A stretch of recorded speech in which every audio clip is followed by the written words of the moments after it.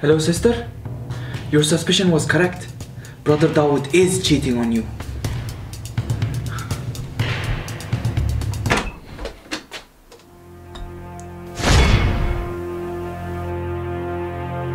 Who was the person who just came in here? I don't know. Stop lying and tell me, who is he to you? Why would I lie to you? I'm blind. I am blind and old, and I have no one to take care of me. I don't know who he is, but he comes here every day, cleans my home, makes food for me, and then leaves.